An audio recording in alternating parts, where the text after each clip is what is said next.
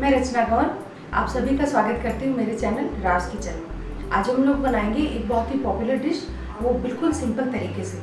तो हम लोग आज बनाएँगे छोले मसाले। करते हैं, बनाना छोले मसाले। छोले मसाले बनाने के लिए हमको जिन चीज़ों की ज़रूरत है, वो है, ये मैंने लिए हैं 250 ग्राम काबुली चने, सफ़ेद चने, जिनको मैंने रात भर भिगो दिया और उसके बाद में साफ़ पानी से धो के और रख लिया। ये मैंने चार मीडियम साइज़ प्याज लिए जिनको मैंने टुकड़ों में कट कर लिया है इनका हम पेस्ट बनाएँगे।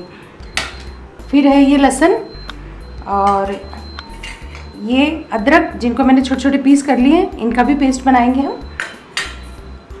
ये दो बड़े साइज़ के टमाटर हैं, जिनको टुकड़ों में काट लिया, हम इनका भी पेस्ट बनाएँगे। फिर ये खड़े मसाले लिए थोड़े से मैंने, ये तेज पत्ता है, दालचीनी है, ये दो छोटी इलायची है और ये एक बड़ी इलायची है। ये जावित्री दो लौंग लिए हैं मैंने। इलायची को आप थोड़ा सा ऐसे खोल लें, ऐसे इस तरह से तो ये गरम मसाले हैं खड़े। अगर आपके पास इनमें से कोई भी एक चीज़ नहीं है गरम मसालों में तो भी आप बना सकते हो। उसके बाद फिर मैंने लिया है ये चना मसाला, आप किसी भी ब्रांड का ले सकते हैं। ये है गरम मसाला, और ये गार्निशिंग के लिए मैंने लिए नींबू और इसके स्लाइसेस काटे हैं। ये हमारे सारे मसाले हैं, इस तरह से। ये हल्दी, धनिया, मिर्ची और जीरा, राई, ये सब है। ये नमक है। और ये हमने लिया पिसा हुआ जीरा। तो ये सारे इंग्रीडियंट्स हैं हमारे, ये ऑयल है। तो अब हम बनाना शुरू करते हैं। तो अब हम हमारे छोले मसाले बनाना शुरू करते हैं। मैं आज बना रही हूँ प्रेशर कुकर में, जिससे हमारे समय की बचत होगी और सबसे बड़ी बात हमारी रसोई गैस की बचत होगी। तो गैस ऑन कर दिया, कुकर रख दिया मैंने।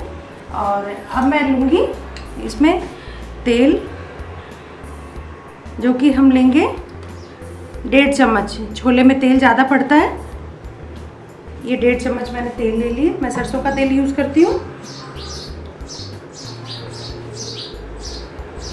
तेल गरम हो गया क्योंकि कुकर हमने अच्छे से गरम कर लिया था तो तेल डालते ही गरम हो गया। तो अब सबसे पहले हम इसमें डालेंगे। ये हमारे खड़े गरम मसाले हैं। ये आधी चम्मच जीरा, साबुत, और मैंने फ्लेम कम कर दी है क्योंकि अब हम डालेंगे हल्दी और मिर्ची। तो तेज़ आँच होगी तो वो जल जाएँगी, इसलिए मैंने इनको कम कर दिया है। अब मैं ये डालूँगी हल्दी पाउडर, जो कि आधी चम्मच से थोड़ा सा ज़्यादा है। लाल मिर्च पाउडर है, ये आप अपने टेस्ट के हिसाब से ले सकते हैं। ये मैंने डाला है आधी चम्मच से थोड़ा ज़्यादा। उसके बाद में फिर ये पेस्ट है प्याज, लहसन और अदरक तीनों को हमने साथ में पीस लिया था। इसका पेस्ट है।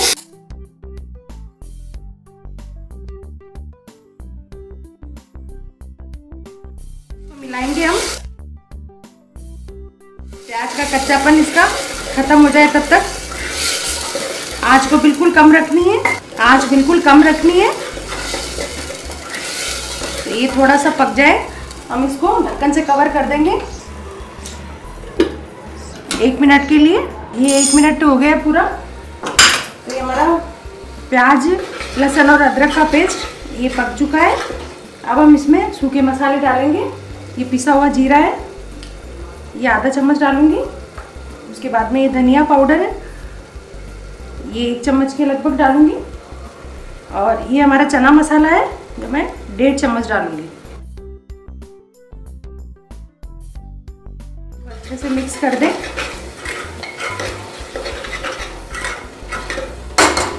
मिक्स करके एक बार फिर से एक मिनट के लिए कवर कर दें, ताकि पक जाए मसाले। एक मिनट हमारा पूरा हो गया, ढक्कन हटा दिया मैंने। उसके बाद अब हम ये डालेंगे हमारा टमाटर का पेस्ट आप चाहें तो टमाटर प्यूरी भी डाल सकते हैं।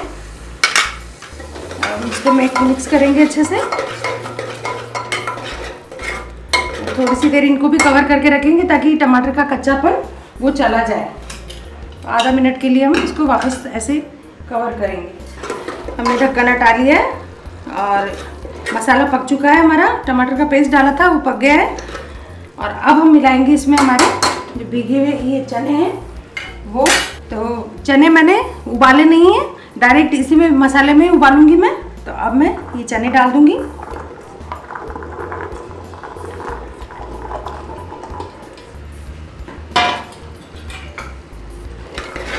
इनको अच्छे से मसाले में मिक्स करके और थोड़ी सी देर इनको फुल फ्लेम में ऐसे थोड़ा फ्राई कर लो इनमें। बाद में लगाएँगे ढक्कन। थोड़ा सा एक दो मिनट के लिए आप आप ऐसे ही इसको मिक्स करके और बिना ढक्कन के ही आप इसको फ्राई करेंगे। ये हमने मिक्स कर लिया इसको थोड़ा सा एक दो मिनट के लिए और अब हम इसमें नमक डालेंगे जो कि आपके स्वादानुसार होगा। आप जितना खाएँ उस हिसाब से डाल दें। मैं ये सवा चम्मच नमक की डाल रही हूँ और ये गरम मसाला हमारा तो ये आधी चम्मच गरम मसाला डाल रही हूँ। उसके बाद में हम लोग इसमें पानी डालेंगे। ये डेढ़ कप पानी है। चना मसाले में डेढ़ कप से आप दो कप भी डाल सकते हैं, क्योंकि इसकी ग्रेवी अच्छी बनती है। पानी ज़्यादा भी हो जाएगा, दो ग्लास भी हो जाएगा, दो कप हो जाएगा। तो ज़्यादा नहीं होगा क्योंकि इसकी बनने के बाद में ग्रेवी थिक हो जाती है।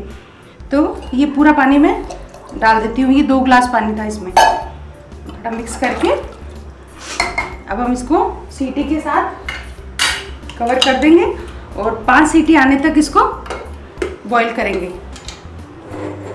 तो हमारे पाँच सीटी पूरी हो गई है। अब हम इसको ठंडा होने तक इसका प्रेशर अंदर ही रहने देंगे और ठंडा होने तक इसको बाद में खोलेंगे। ये हमारी सारी स्टीम निकल चुकी है। अब हम ढक्कन खोल के एक बार चेक करेंगे। तो तो एक बार पाँच सीटी के बाद में हम लोग इसकी भाप निकाल के और एक बार चने चेक कर लेंगे। अगर पाँच सीटी में भी नहीं पकते हैं तो आप थोड़ी देर और पका लेना।